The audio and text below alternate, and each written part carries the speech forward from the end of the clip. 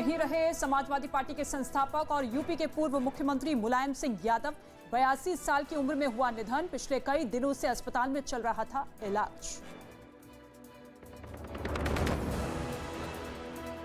मुलायम सिंह यादव के निधन पर देश भर में शोक। राष्ट्रपति और प्रधानमंत्री मोदी समेत सभी दल के नेताओं ने जताया दुख। कल सैफई में होगा अंतिम संस्कार।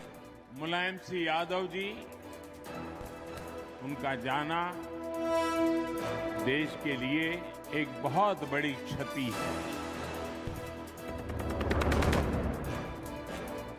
प्रधानमंत्री नरेंद्र मोदी के गुजरात दौरे का आज दूसरा दिन भरूच में कई परियोजनाओं का किया उद्घाटन और शिलान्यास। आम आदमी पार्टी के गुजरात अध्यक्ष गोपाल इटालिया पर पीएम मोदी के खिलाफ अपशब्द का आरोप। बीजेपी ने जारी किया वीडियो। आज बीजेपी नेता हरीश खुराना दर्ज कराएँगे केस। चुनाव चिन्ह को लेकर एकनाथ शिंदे और उद्धव ठाकरे को आज करना है फैसला। चुनाव आयोग को बताएँगे सिंबल और पार्टी का नाम। आयोग ने दोनों गुटों से मांगे हैं तीन तीन विकल्प।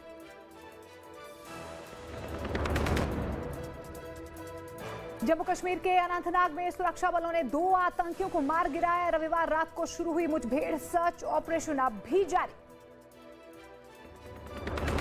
पश्चिम बंगाल में कोलकाता के नज़दीक दो समुदाय के बीच हिंसक झड़प। बीजेपी के केंद्रीय बल को तैनात करने की मांग की गई। हाईकोर्ट में भी जनहित याचिका दायर। पुलिस कस्टडी से फरार गैंगस्टर दीपक चीनू की गर्लफ्रेंड से पूछताछ में बड़ा खुलासा। जेल में ही रची गई फरार होने की साजिश। फ़ोन के ज़रिए गर्लफ्रेंड से लगातार संपर्क में था चीनू।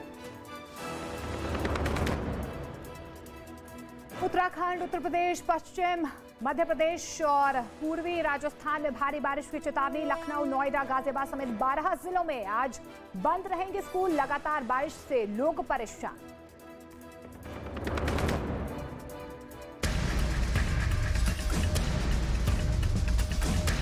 हाँ मुझे किस किस दृष्टि से देखा जाता है, हमें पता नहीं। लेकिन हमारी दृष्टि एक ही है। हमारा एक ही मकसद है, हमारा एक ही लक्ष्य है वो है इंसाफ और इंसानियत।